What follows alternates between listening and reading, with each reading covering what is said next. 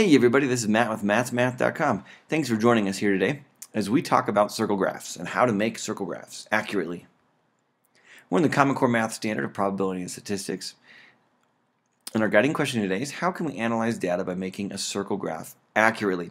Now I'm sure you've made circle graphs in the past, but have you made them accurately? Definitely looking at how many degrees each of the sections would be. I know you've estimated it in the past before, but today we're going to actually look at how to do it accurately. Today we're going to be looking at samples using probability and figuring out how to create circle graphs. All right, so here's an example of a circle graph that I made asking students what their favorite academic class was.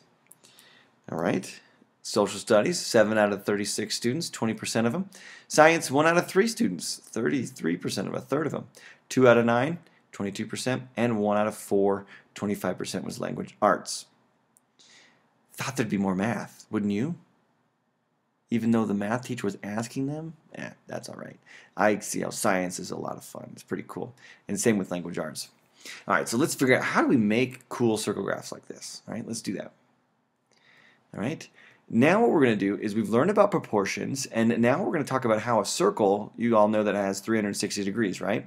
We're going to talk about how to accurately draw those sections by looking at how many degrees that would be each of those sections would be. Okay, so here's the steps to making a circle graph. Go ahead and start writing these down.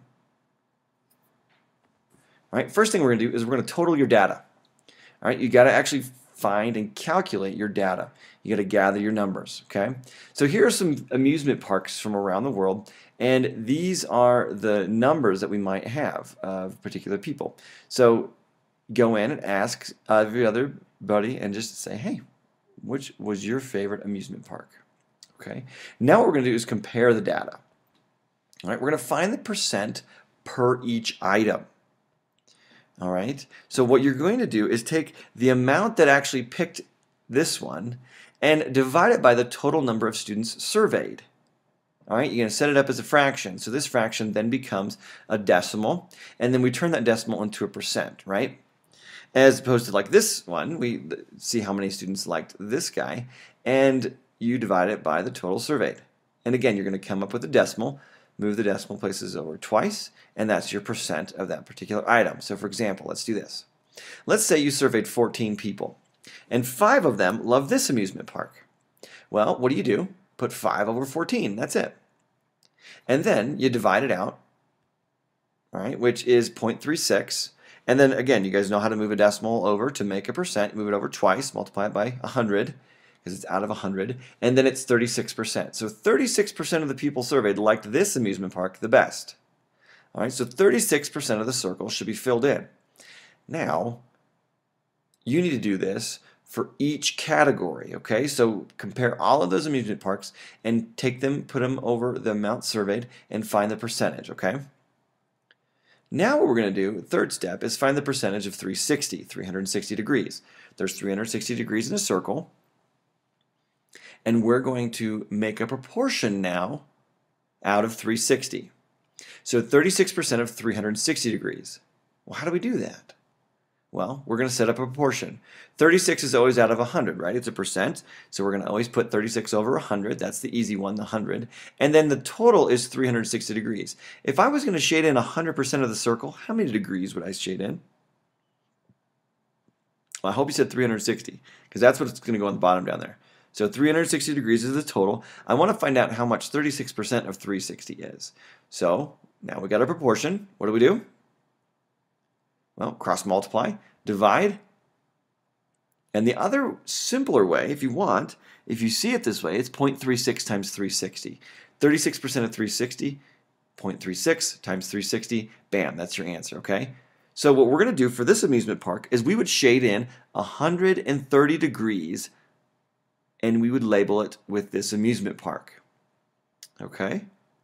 We've done, we've cross multiplied, divided by 100. We get 130 degrees would be shaded in and labeled with this amusement park. And so now what we're going to do is we're just going to draw the sections. All right, you're going to use a protractor to draw each section. Start in the middle there. Always put your dot right in the middle. And then what I would recommend doing is putting a line straight up and down from the middle using your protractor and then estimating and using that protractor and figuring out exactly you have your example your protractor right there. And then you know 130 degrees would be that's 90 so you know something like that. So you'd have this would be shaded in with that amusement park. And then you would label it. Does that make sense so then the next time you come in here and you want to do the next amusement park you would actually rotate your protractor and this now would be your starting line. Does that make sense? Okay so now the next line say the next one was 90% so then what we're going to do is we're going to come in here, or 90 degrees, and then we draw it here. And then we would shade it in there, we would label that one for our particular music amusement park, okay? Does that make sense? Not too difficult, huh? Get to use some protractors today, pretty cool. All right, there it is, five people, 36%. And now we're going to get a chance to do it on our own, okay? So when we do it, just remember, if you start off with the percentages from the beginning, just set up a proportion to find out how many degrees there are. A lot of times you'll be given the percentages rather than the actual number surveyed. And then, bam, you're good to go. All you gotta do is do the proportion rather than doing the legwork of figuring out what percentage is per the amount surveyed. So for example, example here, kinds of pets. How many people have dogs only? Well, 40%. How many people have cats? 30%. Both 15 and neither they hate animals 15%. All right? 15% of non animal lovers out there. It's a shame. All right, so 40 over 100, x over 360, 30 over 100, x over 360, so forth. Continue to do that because we're starting off with a percent. Super easy. 40 out of 100. Cross multiply and divide, and that will give you the degrees.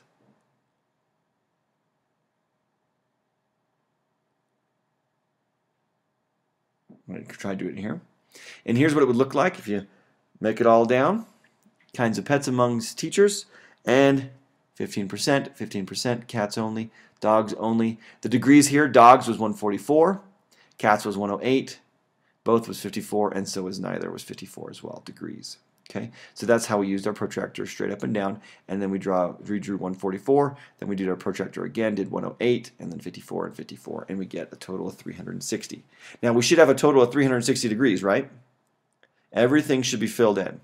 If you're rounding, if you're getting some decimals in there, definitely round closer to the end, maybe even to the nearest hundredth.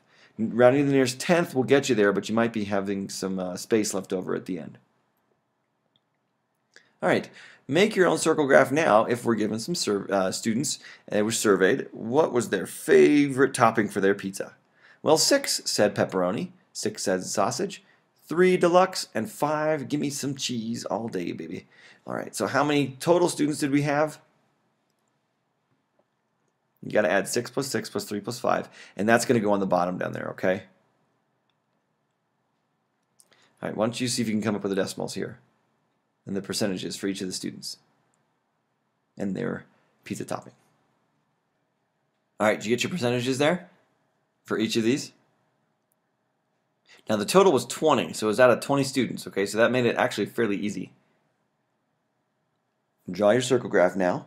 You've got the percentages and the degrees. All right, and here's, it should look something like this. All right, the percent was 30%, 30%, 15%, and 25%. The degrees were 108, 108, 54, and 90. Should have looked something like this when you're labeling it. Always want to have a title along here, student's favorite pizza topping. Want to make sure you label all of the sections and color them different colors. Get something like that. Okay? How you doing? Everything going all right? Definitely use the proportions, and you're probably going to be given easier numbers. I mean, most of the time you're not going to be said, "Hey, there's 13 students surveyed or something like that. Uh, most of the work that you'll be working on, I bet, is going to be pretty easy numbers. But um, if it gets pretty hard and the decimal needs to be rounded, then then do it. Uh, but know that it's probably going to be, you know, 20 students, 50 students, 100 students, that kind of thing at first. All right. Why don't you make your own circle graph of these students surveyed and their favorite sport? Remember, first thing is you got to total up how many students were surveyed. Having trouble? Remember, put them over, so we take 8, put it over the total number of students surveyed, divide it out, get that decimal, and then turn it into a percent. And then you want to use that percent as 360, okay? Over 360. How much degrees in 360?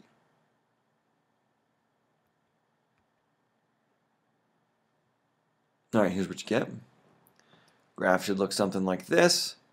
You got a percent, you know, as a, written as a fraction, a quarter, 3 sixteenths, 16th, 3 sixteenths, and an eighth, and then here are the degrees for each of them, okay?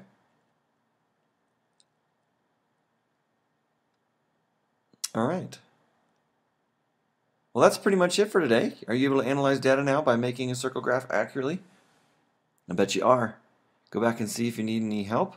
And uh, that's going to be pretty much it for today. What was your favorite academic class? Where would you fit in? All right. Well, thanks for joining us. This was Matt, mattsmath.com. Check us out on Facebook at Solving Maths Problems or on Twitter, Matt's Math, and enjoy math.